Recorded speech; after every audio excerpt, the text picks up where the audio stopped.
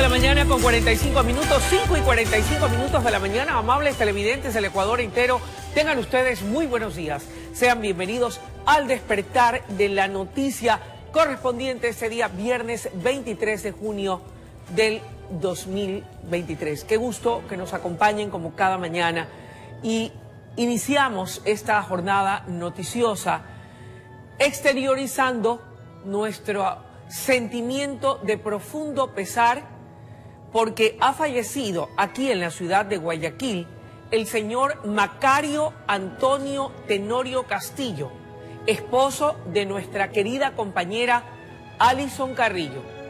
Sus restos, amables televidentes, están siendo velados en el Campo Santo Jardines de la Esperanza, en la Sala Fe número 3.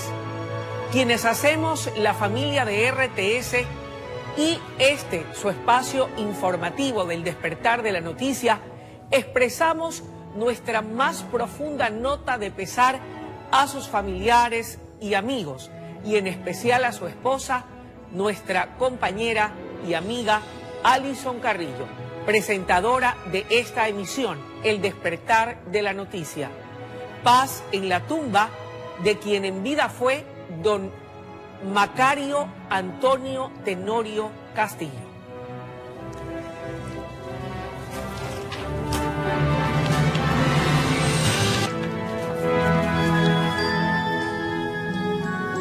Son las 5 de la mañana con 47 minutos. Dos antisociales fueron sorprendidos por la Policía Nacional cuando asaltaban una lavandería en Esmeraldas.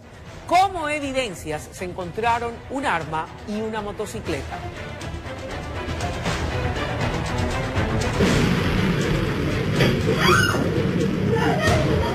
Esmeraldas. La lavandería estaba atendiendo con absoluta normalidad hasta que llegaron los delincuentes y no precisamente a lavar la ropa.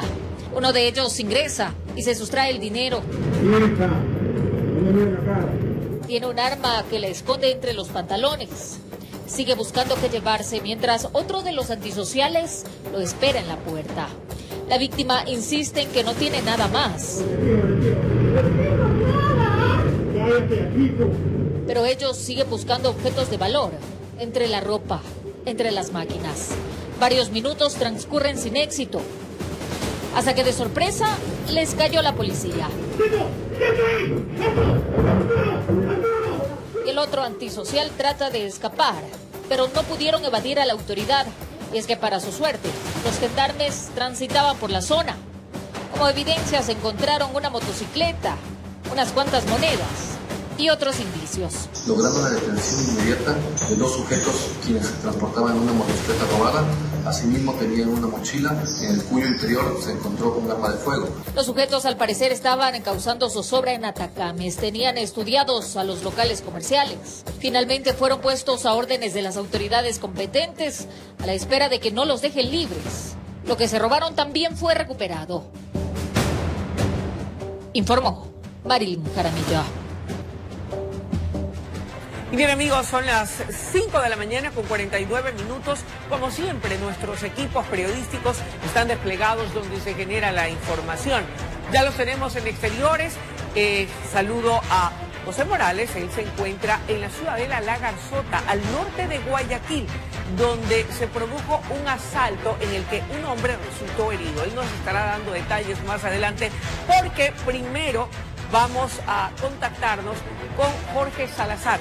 Él se encuentra en el VC por TT. Allí, el día eh, de ayer, en ese sector circundante, hubo otro crimen, una muerte violenta. ¿De quién se trata, Jorge, y en qué circunstancias se dieron estos hechos? Es lo que te preguntamos enseguida. Buenos días, adelante. Buenos días con todos, gusto saludarlos a esta hora de la mañana, 5 y 49 minutos de este fin de semana laboral. Efectivamente yo he acudido a la VC del Distrito Portete, ubicada en las calles 29 y La Jota, suburbio de Guayaquil, para informarles de un nuevo crimen que también ha dejado una víctima colateral.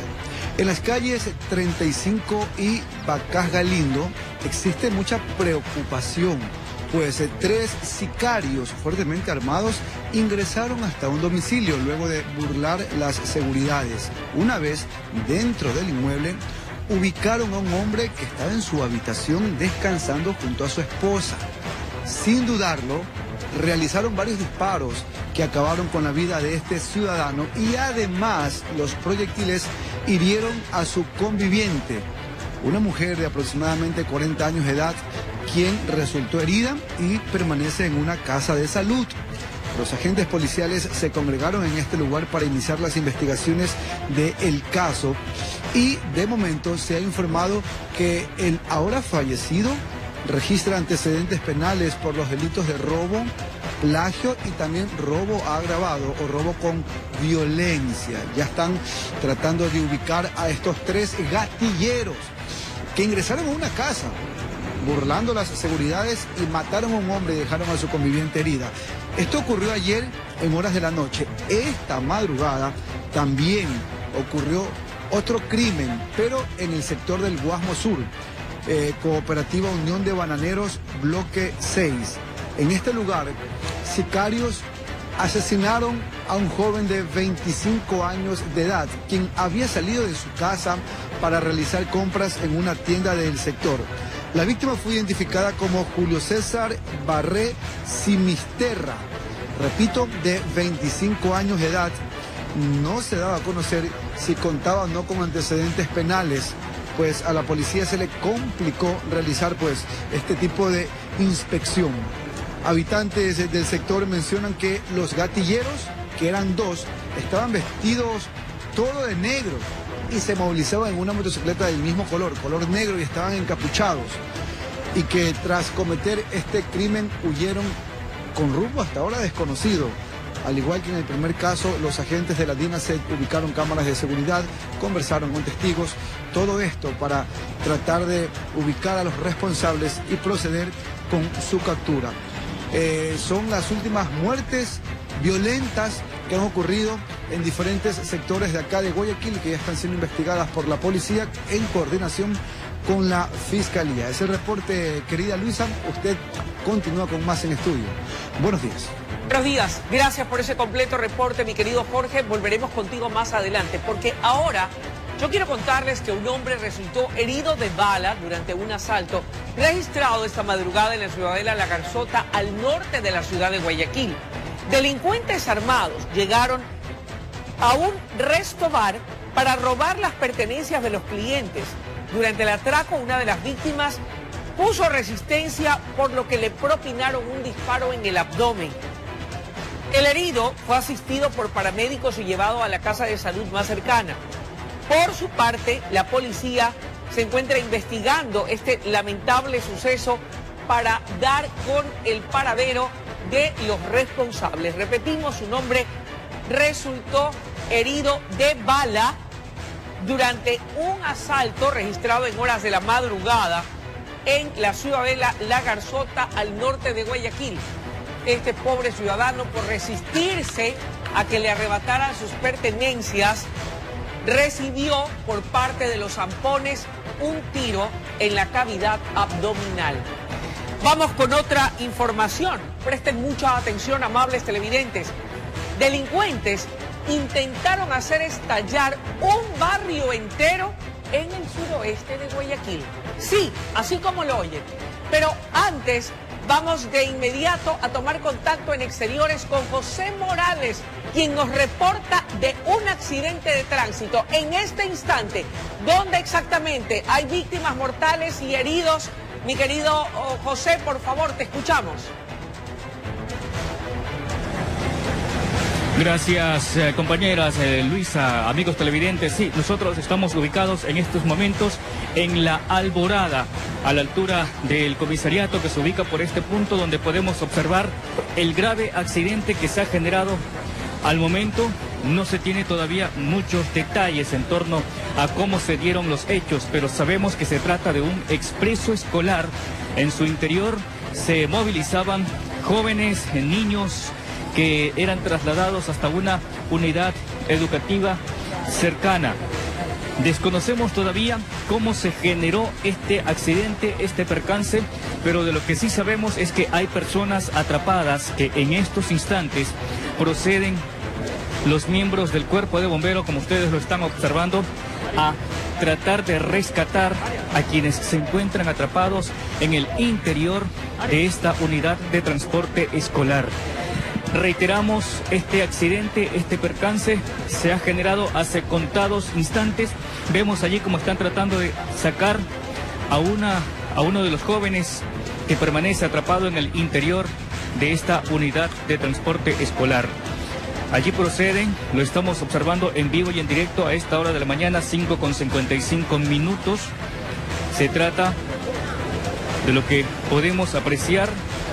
Parece sí un joven, es estudiante de secundaria, está con su uniforme, se encuentra con su uniforme de educación física, lo están sacando en la tabla para luego ubicarlo en la camilla respectiva. Ese es el trabajo que está desarrollando a esta hora de la mañana los miembros del cuerpo de bomberos de la ciudad de Guayaquil, quienes procedieron a trabajar en forma inmediata en el rescate de quienes se encontraban en el interior de este expreso escolar. Un accidente muy grave, como lo podemos observar, como lo estamos apreciando en estos momentos. 17 años nos manifiestan, tiene el joven que ha sido rescatado, a quien pudimos ver como miembros del cuerpo de bomberos lucharon utilizando equipo especial para poderlo retirar desde el interior de esta unidad.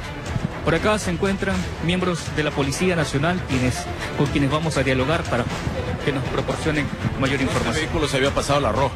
El expreso se pasó. El expreso se pasa a la roja. Que está en el interior es el conductor del Él es el conductor de la- del expreso.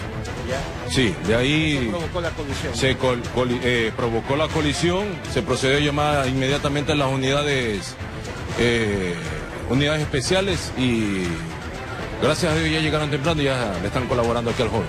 Ya lo sacaron inclusive. Estudiantes de la Academia Illingworth son los. Desconozco de qué unidad educativa son. Sí, la trompa, Sí, el uniforme dice. ¿Cuántos chicos habían en el interior del, del, del expreso? Hay algunos jóvenes, algunos estudiantes, pero ya lograron salir de ahí. Espérate un momentito, mijo. El joven rescatado, de lo que podemos observar, el joven rescatado era la última víctima en el interior de la unidad. Presumiblemente sí, no, no, no se tiene conocimiento del todo. Hay que, hay que esperar a ver si se encuentra alguna otra persona dentro. Perfecto, bien, muchísimas gracias. Es el detalle preliminar de lo que se conoce a esta hora de la mañana.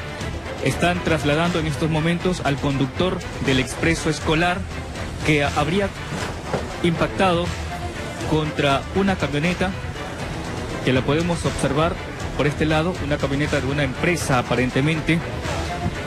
Circulaban en este sector Ah, de lo que se tiene información, el expreso escolar, ojo, de versiones preliminares, el expreso escolar se habría pasado la luz roja del semáforo.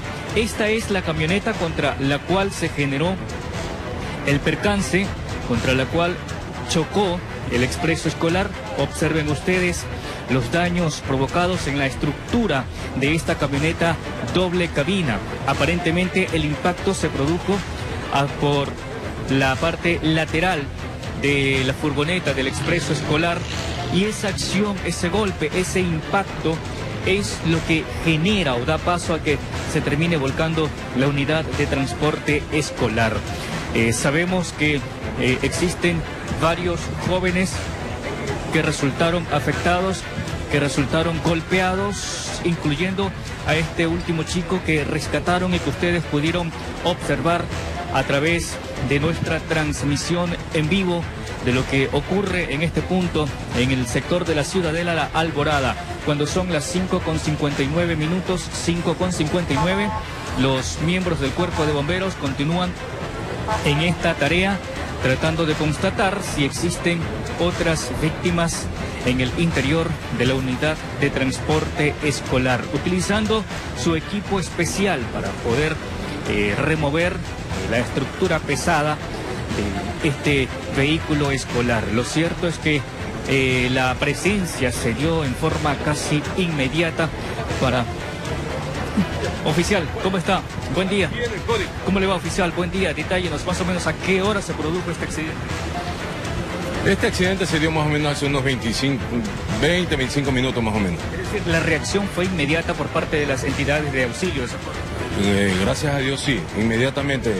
A lo que yo venía saliendo aquí por la José María Robra, eh, me pude, pude visualizar de que este vehículo de acá lo había impactado al, al expreso escolar, pero porque el expreso escolar se había pasado la luz roja. ¿Usted venía cerca cuando se produjo? Yo venía aquí a, escasamente media cuadra, a escasamente media cuadra. Se logró coordinar inmediatamente con, la, con las unidades respectivas, se acordonó aquí el sector y gracias a Dios, sin vida que lamentar. Perfecto, muchísimas gracias, señor oficial. Bien, este es el detalle que tenemos hasta esta hora de la mañana. Vamos a suspender momentáneamente porque tenemos que presentarles para ustedes los titulares de la jornada de hoy. Ya regresamos. Cifra de muertes violentas superan los 1.150 casos en lo que va del año. Solo durante esta semana se reportaron masacres y se encontraron restos humanos en el noroeste de Guayaquil. Policía ejecutó un mega operativo en el sector de La Zapera, en Machala, sitio considerado como zona caliente y donde operaba un grupo delictivo. Más de mil policías se incorporaron oficialmente este jueves a trabajar en la capital. El nuevo personal será distribuido en todo el distrito metropolitano con el fin de fortalecer la seguridad ciudadana. Son alrededor de 70 millones de papeletas electorales las que demandará el proceso del 20 de agosto. El Consejo Nacional Electoral tiene listo el diseño. Con el objetivo de ofrecer a nuestros televidentes la oportunidad de conocer a los candidatos presidenciales. RTS prepara el programa político Puntos de Vista, que estará al aire los domingos a las 10 horas.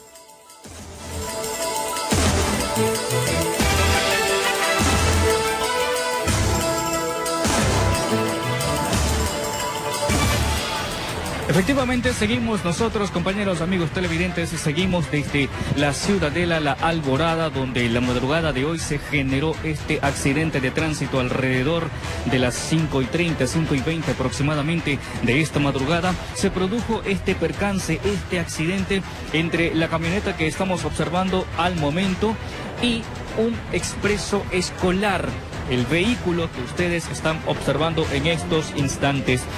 Eh, aparentemente, de acuerdo a la información proporcionada hasta ahora por un miembro de la Policía Nacional, se trataría de un irrespeto a las normativas de tránsito, en este caso al semáforo, ya que, según lo que manifiesta el señor agente de la policía, el expreso sería el vehículo que no respetó la luz roja del semáforo. Un poco para ubicarnos, estamos en la avenida Guillermo Pareja Rolando donde se produce esta acción violenta, este impacto con el expreso escolar que llevaba evidentemente estudiantes en su interior, chicos de una secundaria cercana, quienes quedaron atrapados en el interior de esta unidad de transporte escolar.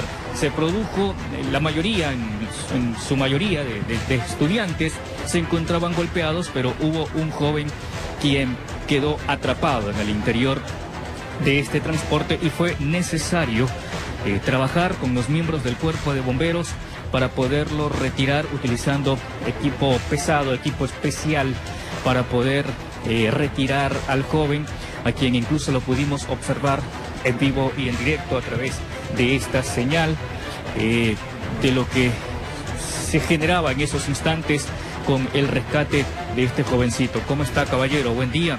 Eh, no, sin rostro, no se preocupe, pero eh, ¿cómo se enteraron de esta novedad presentada? lamentablemente, el conductor que manejaba la unidad, la furgoneta, me llamó de forma inmediata.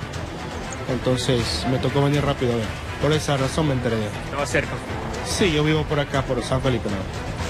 se conoce cuántos niños venían aquí. Habían cuatro alumnos, tres alumnos que ya se fueron con los representantes y uno que eh, tuvo que irse por fuerza mayor a la, a la clínica en ambulancia. Es el único que ha resultado un poco más afectado. El único, sí. Sí, Su niña, por ejemplo, se encuentra nerviosa, afectada. Está muy afectada, muy afectada, obviamente. Muchísimas gracias. Hemos escuchado las palabras de un padre de familia eh, en este lugar. Hay que destacar la acción por parte de la Policía Nacional, de los agentes de tránsito, de los miembros del cuerpo de bomberos, quienes estuvieron aquí en forma casi inmediata, mientras nosotros estábamos en otro punto, eh, listos para, para informar, para transmitir la, noticia de lo que se generaba durante esta madrugada, pudimos observar el paso raudo de aquellas patrullas, tanto de tránsito como de los miembros del cuerpo de bomberos, y eso nos alertó para lo que estaba ocurriendo a poca distancia del punto en el cual nos encontrábamos. Hoy estamos transmitiendo para todos ustedes el punto exacto donde se generó este impacto, fuerte impacto, y es por aquí, en la parte de atrás del vehículo de transporte escolar donde quedó este jovencito de 17 años, nos manifiestan, 17 años, se quedó atrapado y fue necesario retirarlo utilizando el equipo especial por parte de los miembros del cuerpo de bomberos. Una vez más, reitero, eh, oportuna y muy rápida la presencia, la asistencia de los uniformados de estas tres entidades, de estas tres instituciones quienes se hicieron presentes en el punto para poder transmitir, para poder facilitar el rescate de los niños, de los adolescentes que permanecían atrapados en esta unidad de transporte. Bien, son las 6 de la mañana con 7 minutos, 6 con 7 minutos en la mañana. Por acá vamos a permanecer todavía hasta observar la, el traslado ya de la unidad de transporte escolar. Por ahora vamos hasta otro punto en la ciudad de Guayaquil con Jorge Salazar, quien nos tiene mayor información. Gracias, José. Queridos amigos, buenos días y gracias por la sintonía. Yo continúo en la UC del Distrito Portete, suburbio de Guayaquil, para informarles acerca de un asesinato que dejó también una persona herida. Este hecho sucedió en las calles 35 y Vacas Galindo, en momentos en que tres eh, sicarios fuertemente armados violentan las seguridades de un domicilio.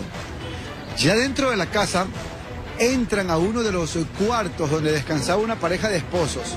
Proceden a realizar varios disparos contra el hombre, pero los proyectiles también alcanzan a la mujer. Finalmente, pues se avisó del fallecimiento del ciudadano, quien tenía antecedentes penales. Y la mujer resultó herida y fue trasladada hasta el hospital más cercano. La policía ya está investigando este hecho. Horas después, cerca de la medianoche de ayer jueves también, un hombre de 25 años de edad que había salido de su casa para comprar en una tienda fue acribillado. Este hecho sucedió en el bloque 6 de Unión de Bananeros, Guasmo Sur de Guayaquil. Son uno de los dos últimos crímenes que han teñido de sangre el puerto principal que mantiene en movimiento a la policía para tratar de ubicar a los responsables y esclarecer las motivaciones de estos hechos. Es el reporte desde el suburbio de Guayaquil. Ustedes continúan con más en estudio. Buenos días. Buenos días, gracias por tu informe y también a José Morales. Pero ahora, ¿qué te parece si vemos un adelanto, un abreboca de lo que verán aquí en el despertar de la noticia? Presten mucha atención, amables televidentes. Restos humanos, la policía halla restos humanos en diferentes sectores de Monte Sinaí, esto al noroeste de Guayaquil. En uno de los puntos solo se encontró una cabeza humana. Miren ustedes estos macabros hallazgos. Por otra parte, escuchen con atención, más adelante, sicarios asesinan a dos personas en Machala, provincia de El Oro. Las víctimas eran un abogado y un hombre que recién había salido de prisión. Bárbaro, esto está ocurriendo en la provincia de El Oro, en su capital, Machala. Son las 6 de la mañana con 10 minutos. Vamos con más información. Delincuentes, delincuentes intentaron hacer estallar un barrio entero en el suroeste de Guayaquil. Los antisociales arrojaron más de dos docenas de tacos de dinamita en los exteriores de varios domicilios del sector. Jorge Salazar acudió al sitio y conversó con la Policía Nacional. Él nos ha preparado el siguiente informe.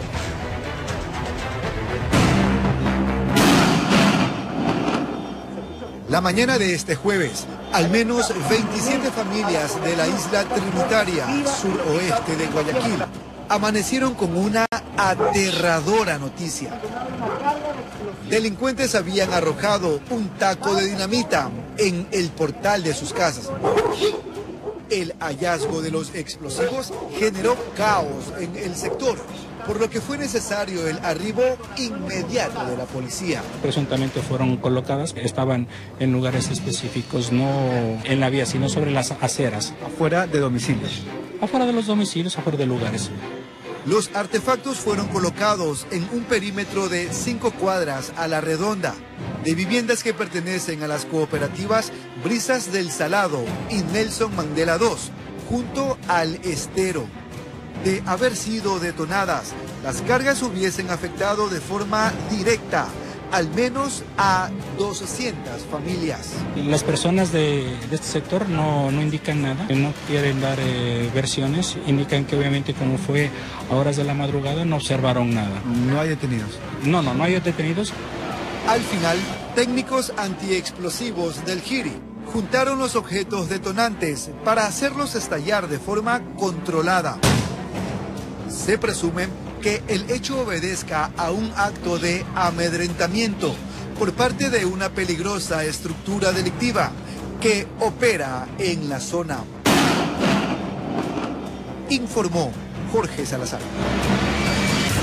Son las 6 de la mañana con 12 minutos y hace breves momentos se produjo un accidente de tránsito en el sector de la Alborada. Allí se encuentra nuestro compañero José Morales con más detalles. José, ¿Qué conoces del estado del estudiante herido que fue trasladado hasta una casa de salud? ¿Está fuera de peligro su vida?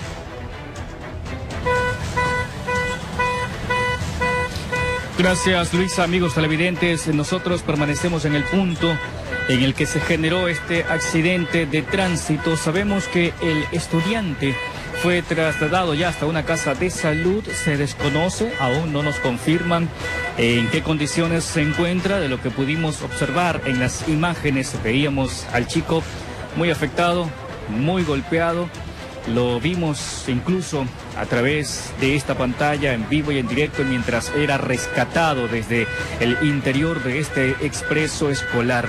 En estos instantes ya los cuatro estudiantes fueron rescatados. Ojo, hubo tres que resultaron con golpes, golpes leves. Una jovencita había por aquí, la pudimos observar, nerviosa, impactada luego de esta situación violenta que se generó en el sector de la Alborada y apenas un jovencito, lamentablemente, lo vimos que era el más afectado, el que presentaba las heridas de mayor gravedad y a quien fue rescatado por parte de los miembros del cuerpo de bomberos. Para recapitular un poco, este accidente se originó alrededor de las 5 con 20 minutos en la intersección de las avenidas Rodolfo Vaquerizo Nazur y José María Roura, esto en la Alborada.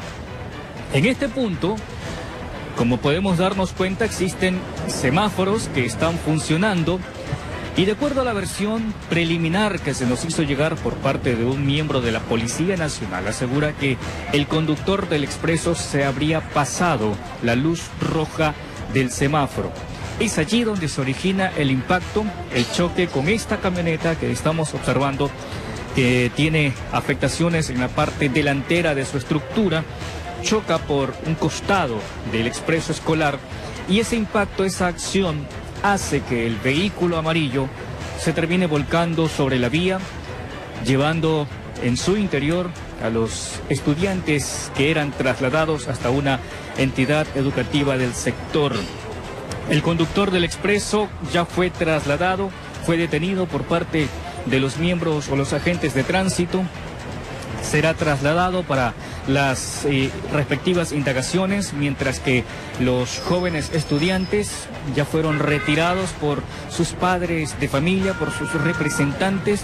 Aquel jovencito que se encontraba un poco más golpeado, con mayores afectaciones, fue trasladado hasta una casa de salud, como lo pudimos observar en vivo y en directo. En estos instantes continúa el trabajo por parte de los miembros del cuerpo de bomberos para asegurar en este caso que al ubicar el vehículo en posición normal no se vaya a generar algún otro tipo de afectaciones.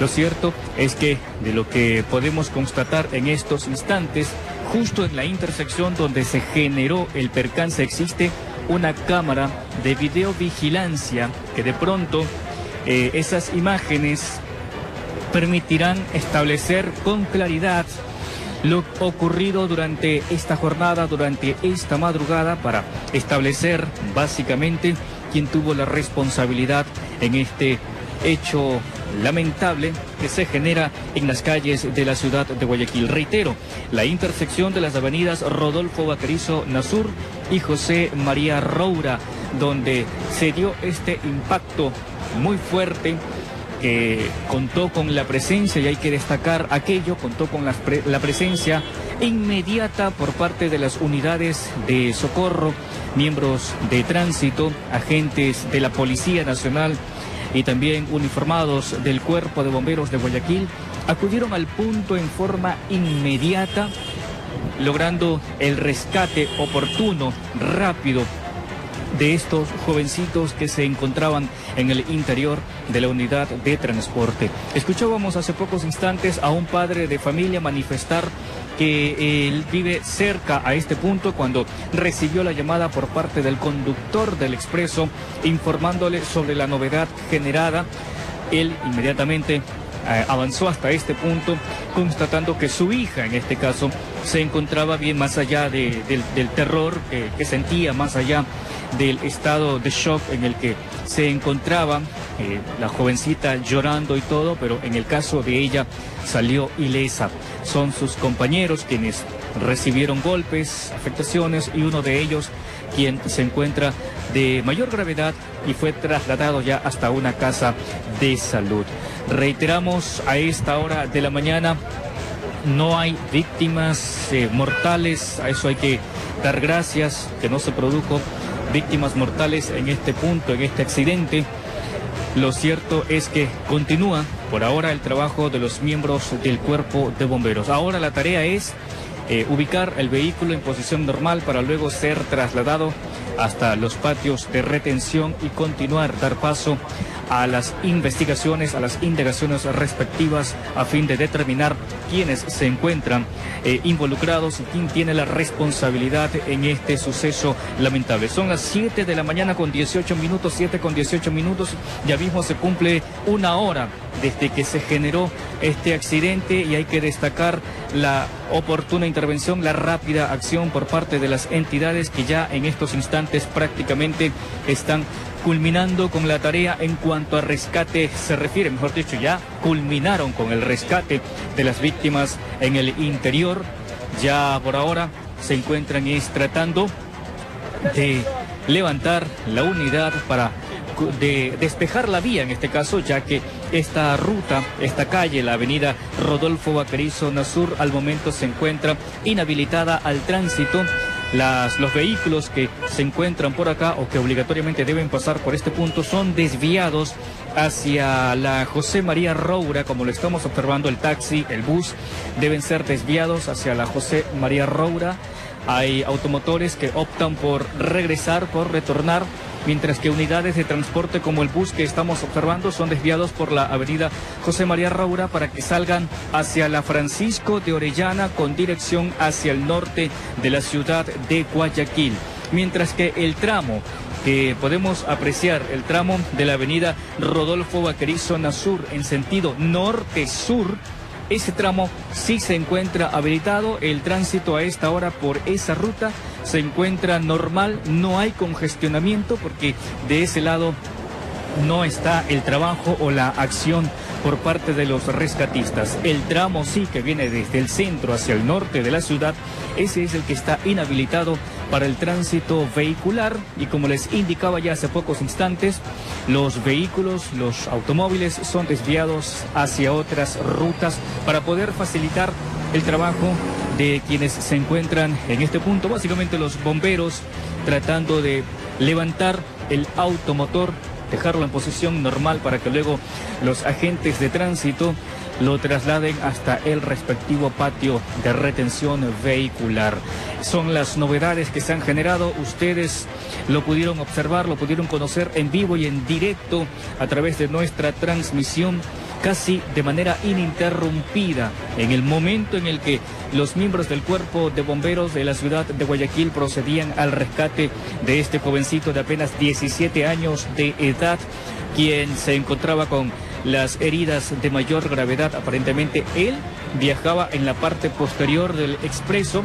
Son apenas cuatro chicos que iban en el interior.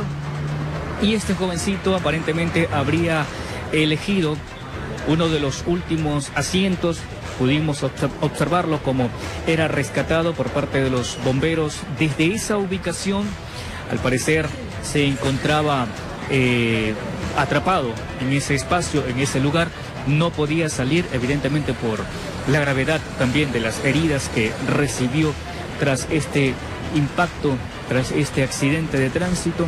Por ese motivo fue auxiliado por los agentes, por los miembros del cuerpo de bomberos en la ciudad de Guayaquil. A esta hora todavía no se siente un congestionamiento pesado en este punto y eso ha hecho que de pronto no se observen eh, columnas extensas de vehículos, por lo que aún no hay una masiva concurrencia de automotores. Los pocos vehículos que estamos observando son dirigidos por agentes de tránsito en este punto evitando así que se generen columnas de vehículos. Hay quienes incluso de manera desesperada proceden a accionar el pito de, de sus vehículos, pero en este caso estamos observando el trabajo oportuno por parte de los miembros de tránsito para evitar estos congestionamientos. Más adelante esperemos que la situación ya se normalice en los próximos minutos antes de que se empiece a dar la masiva presencia de vehículos en este punto y se puedan ya generar extensas columnas. Lo cierto es que estamos constatando al momento el desarrollo de esta actividad, de este accionar por parte de las entidades de rescate cuando son las 6 de la mañana con 23 minutos, 6 con 23 minutos ya podríamos hablar de que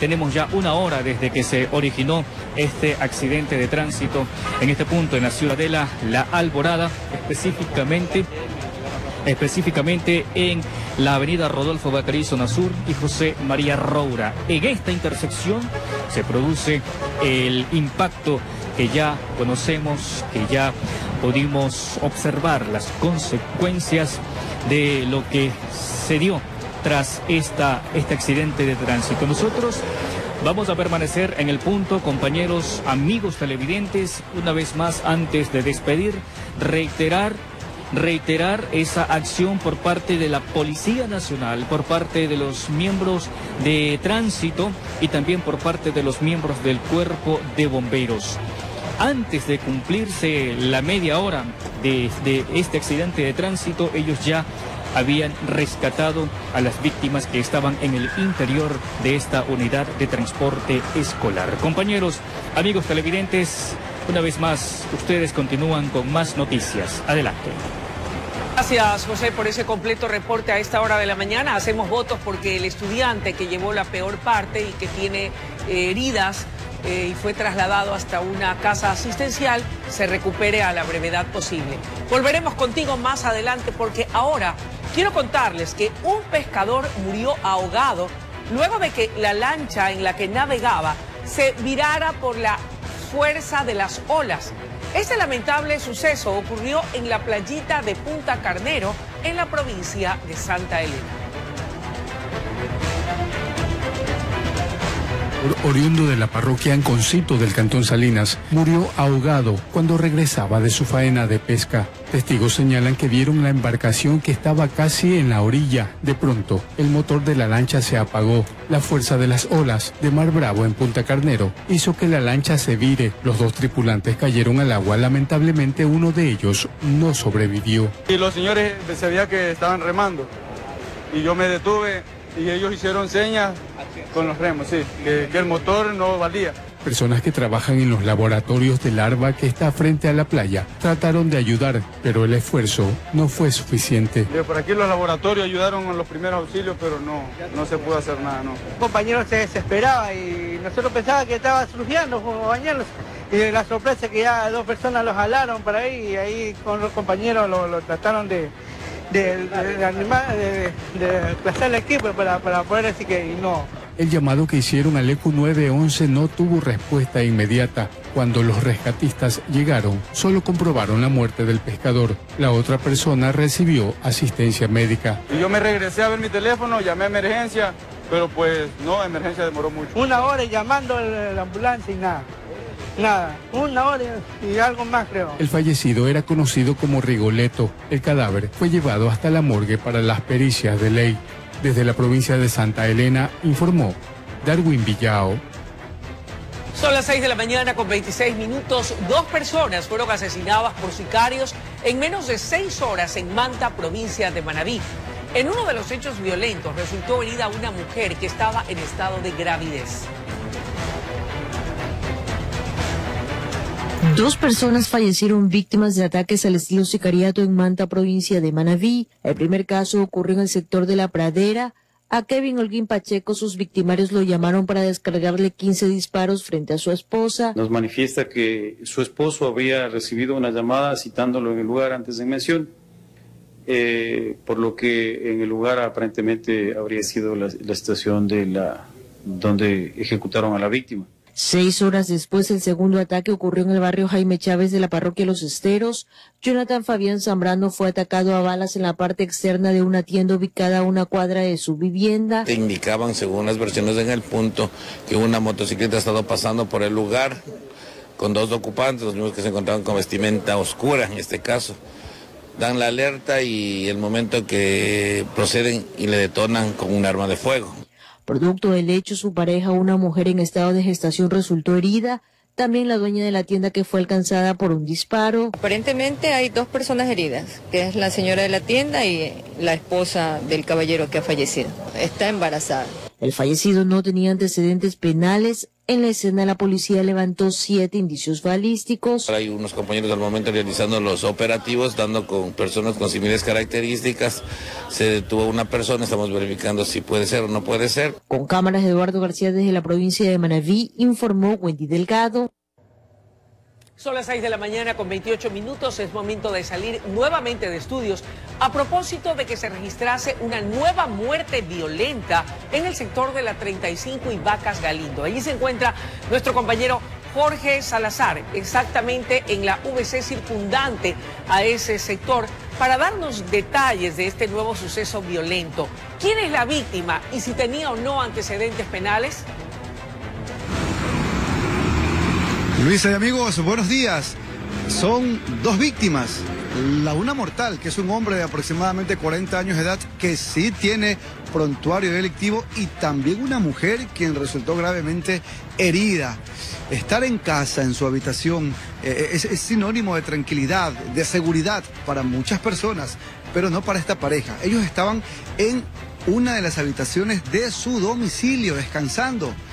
De repente, hasta el inmueble llegan 13 sicarios armados, violentan las seguridades, los ubican en uno de estos cuartos y proceden a disparar contra el hombre. Pero la mujer fue alcanzada por balas perdidas. Se ha dado a conocer que el ciudadano tenía antecedentes por el robo agravado, por plagio y otros, eh, y otros delitos más.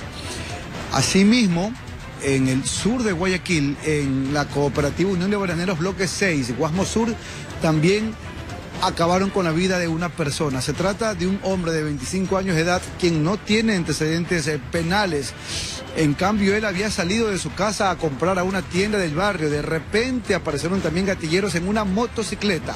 Los sujetos, según testigos, estaban vestidos todo de negro, una capucha y la moto también color negro y luego pues de propinarle varios disparos al sujeto, al hombre, huyeron a bordo de esta motocicleta. Ambos casos están siendo investigados por la Policía Nacional y engrosan la lista de muertes violentas, la cifra de muertes violentas acá en la zona 8 del Guayas. Ese es el reporte a esta hora de la mañana desde el suburbio de Guayaquil. Vamos a un corte comercial y ya venimos con más noticias.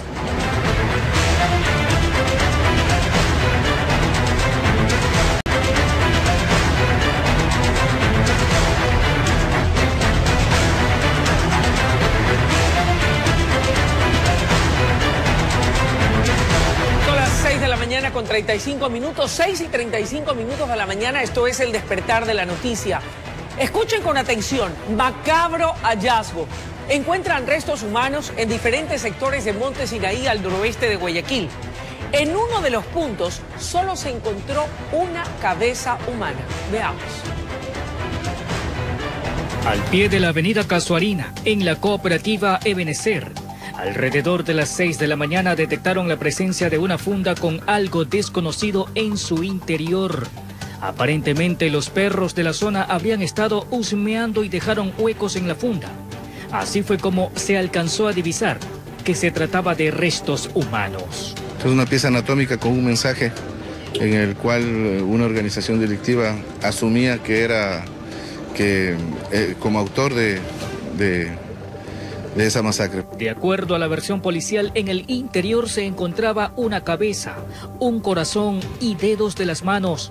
Este hallazgo estaría relacionado con un cuerpo sin cabeza encontrado un día antes, al pie de una zanja ubicada en la zona denominada como La Carolina, también en Monte Sinaí. De igual forma, en un lugar de difícil acceso, en un lugar este, rural como este en el que estamos aquí, fue dejado el, cuerpo del ciudadano. Minutos más tarde, una llamada alertó al ECU 911 sobre la presencia de otro cadáver abandonado hacia un costado de un camino vecinal entre Monte Sinaí y Ciudad de Dios. Tenemos una persona que ha sido asesinada en el punto. Eh, aproximadamente 24 horas que han dejado el, el cadáver aquí. Se trata de un hombre cuya edad no ha sido determinada. Estaba con sus partes completas aunque se apreciaban algunos cortes.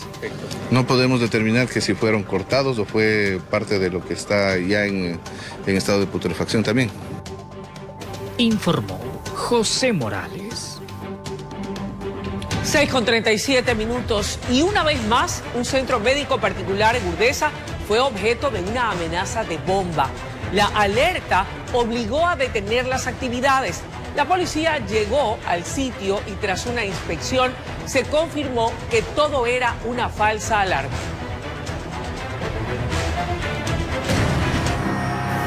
En horas de la mañana se encontraban listos para atender a sus pacientes cuando una misteriosa llamada les advirtió que existía un objeto explosivo en aquella casa de salud, inmediatamente se procedió a evacuar a todos bajo el temor de que un nuevo hecho violento se estuviera gestando en su contra. Únicamente fui yo la que me di cuenta que salían en fila los médicos y las enfermeras. ¿Apurados? Sí, salían en fila y yo ahí me, me alarmé, dije, Dios mío, nuevamente pasa. La novedad que está cerrado todo dijeron que hay una bomba, dijeron, pues eso no hay. El lunes 19 de junio, un médico de esta casa de salud fue secuestrado junto a su chofer. Luego trascendió que los secuestradores exigían el pago de 200 mil dólares para liberarlos. La rápida y oportuna intervención policial permitió rescatar a las víctimas. En esa acción hubo dos detenidos. A manera de represalia por la liberación, el día martes lanzaron un objeto explosivo en el centro médico generando daños materiales. En la madrugada del día miércoles se registró el incendio de un vehículo en la vía Puntilla San Borondón. Se conoció que este automotor pertenecía al médico liberado. Finalmente, la mañana de este jueves se registró la última alerta. La policía logró constatar que en esta ocasión solo se trataba de una falsa alarma. Primeramente, verificar si es que la amenaza existía en el punto para poder coordinar con las unidades especializadas, pero como le indico, eh, se encuentra descartado, hasta el momento descartado, sí. Todos queremos salir de aquí porque no, no, es, no es posible vivir así, con esta inseguridad. Informó José Morales. Son las 6 de la mañana con 40 minutos, amables televidentes. Las imágenes que aparecen en pantalla se han viralizado en redes y corresponden a un hecho que se registró en el sector de Sauce 7, al norte de Guayaquil, donde un ladrón armado, disfrazado de trabajador de la empresa eléctrica, intentó robar. Ahí lo tienen, disfrazado. Sí, así como lo ven. Y luego saca el arma y apunta al dependiente de este local ubicado en el sector de Sauce 7, al norte de la ciudad de Guayaquil. Como estaba vestido con eh, el uniforme de la empresa eléctrica, el dependiente del local, son dos asaltantes, uno de ellos disfrazado con el traje, eh, uno de los uniformes de la empresa eléctrica, el dependiente de este pequeño negocio, de este modesto negocio en Sauce 7, confiado se acercó a ver qué era lo que querían. Cuando de repente es apuntado con un arma de grueso calibre que este delincuente saca de su cintura y con el que apunta al dependiente del local. Este intenta esconderse y ponerse a buen recaudo y eso es lo que ocurrió en Sauce 7 al norte de Guayaquil. Vean ustedes a lo que están expuestos los propietarios de pequeños, medianos y también de grandes negocios. 6 y 41 minutos de la mañana y ahora quiero contarles que una joven fue secuestrada cuando llegaba a su domicilio en el sector de Tumbaco, en Quito. Los delincuentes se llevaron el vehículo de la afectada y a ella la abandonaron en el sector norte de la capital. La policía se encuentra ya tras la pista de los sujetos. A la joven la secuestraron. Este video muestra cómo los delincuentes emprenden la huida en dos carros. El uno de los malhechores, el otro de la víctima. Se la llevaron a la fuerza. Donde reside quedó un orificio, pues los antisociales dispararon y le advirtieron a uno de los testigos que no se meta. Porque yo le vi lo que chillaba ella en caso. El disparo, métete adentro, me dijo. Pero era capuchado, pues o sea, todo era bien, pero era un altote. Entonces, mi pose zapatos, cogí el martillo para lo que sea, para darle enfrente. Ya lo que yo cojo el martillo, ¡bum! Ya salió el carro, Dios hecho. Inmediatamente dieron la alerta a la policía. Debían encontrar a quien fue reina de Tumbaco. Se la llevaron en contra de su voluntad. La policía dice que los antisociales no se sustrajeron dinero. Mismo momento personal del eje preventivo realiza todas las acciones eh, tendientes a cancelar todas las tarjetas. No, no existen robos de objetos personales, se puede decir, pero sí el robo del, del vehículo. La joven finalmente fue abandonada al norte de la capital, horas después de haberse reportado la novedad. La persona se encontraba en estado normal y fue trasladada directamente a su domicilio. Los uniformados hacen un llamado a la ciudadanía a que estén atentos si observan vehículos o actividades inusuales cerca de las entradas de sus viviendas, no tomar las mismas rutas y pedir ayuda a los gendarmes. Informó Marilyn Jaramillo de la mañana con 43 minutos y recuerden que aquí su voz tiene valor, tiene peso, porque aquí todas sus denuncias son atendidas oportunamente y tienen respuesta. Es por ello que hemos recogido todas ellas en un resumen que presentamos a continuación.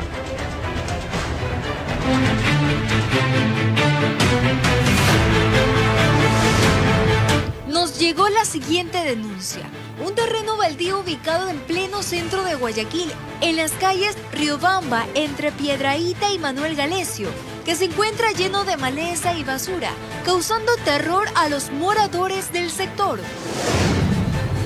Los habitantes de la cooperativa Unión de Bananeros en el Guasmo Sur nos indican que las calles se encuentran dañadas con baches y el transitar de los vehículos levanta polvo, perjudicando la salud de los habitantes del sector. En el Fortín Bloque 9, junto a una unidad educativa, un buste se encuentra en pésimas condiciones, poniendo en peligro la vida de los estudiantes del sector. En Pascuales, en la avenida Montecristi, entre Quevedo e Ibarra, piden ayuda de manera desesperada, ya que las calles se llenan de agua hace más de 10 años, provocando enfermedades y hasta los vehículos de transporte se dañan.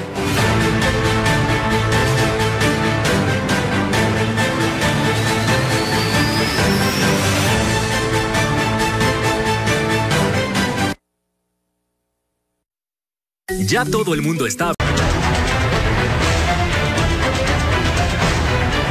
Son las 6 de la mañana con 50 minutos. Un hombre fue asesinado de varios disparos en el bloque 6 de la cooperativa Unión de Bananeros en el Guasmo Sur de Guayaquil. La víctima, de 25 años, fue identificada como Julio César Barrés Sinisterra. Según testigos, el ciudadano caminaba por el sector cuando fue abordado por sicarios que se movilizaban en una motocicleta. Este nuevo crimen ya está siendo investigado por la Policía Nacional para establecer las causas y dar con el paradero de los responsables amables televidentes. Son las 6 de la mañana con 51 minutos. Con el sentido de responsabilidad social que nos caracteriza y el claro objetivo de ofrecer a nuestros televidentes la oportunidad de conocer a los candidatos presidenciales, RTS prepara el programa político Puntos de Vista, que estará al aire los domingos a las 10 de la mañana. Veamos los detalles de lo que será su contenido.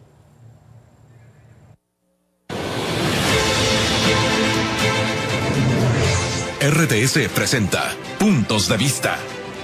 El primer canal del Ecuador, RTS, se prepara para asumir un nuevo reto, poner en su pantalla el mejor contenido y entregarle todos los pormenores de lo que será las elecciones anticipadas. Amables televidentes, muy buenos días. Bienvenidos a una nueva entrega de Puntos de Vista. Empezamos por darle la oportunidad a los aspirantes a presidente de la República de difundir sus propuestas y responder a los cuestionamientos ciudadanos a sus candidaturas.